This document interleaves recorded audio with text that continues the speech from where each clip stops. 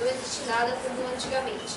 Antes não existia tecnologia, hoje com tanta já virou hipocrisia. Antigamente não tinha televisão, mexiam o rádio e sua imaginação. Hoje existe computador e Facebook. Antes compartilhavam amor e não assistiam vídeo no YouTube. Hoje com o celular só temos distração. Cadê o amor e a paixão? Está cansado de política? Então vamos falar da política. Antes era ditadura, hoje é democracia. A alma mais pura era a que mais sofria. Hoje temos direito de protestar. Antigamente você era preso só de falar. Prefeito, governador ou presidente. Outro cargo excelente. Antes você tinha que ser a favor da ditadura militar, sem sequer poder votar.